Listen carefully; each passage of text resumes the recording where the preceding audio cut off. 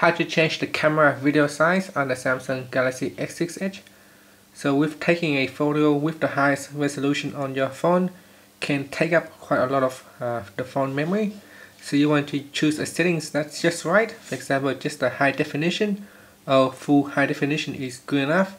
If you're using a 4K videos, it can take up quite a lot of memory.